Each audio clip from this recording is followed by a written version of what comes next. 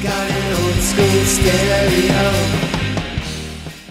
Slow motion rider.